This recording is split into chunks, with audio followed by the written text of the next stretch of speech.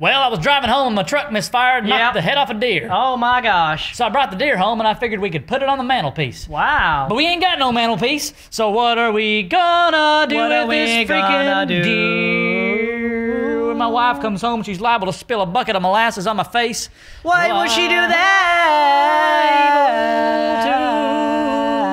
You gotta help me hide the deer. You gotta help, me hide, the deer. Gotta help, me hide, the deer.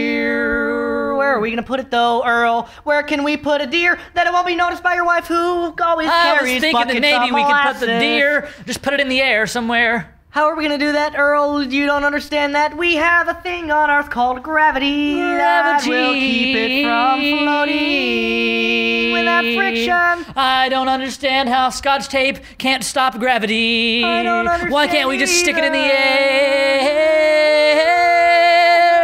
With some heavy duty Scotch tape, it's air adhesive. Don't you read it on the back of the box? Scotch tape is air adhesive. Oh, Scotch tape is air adhesive. Is it? Yes, it is. Praise the Lord. Praise the Praise the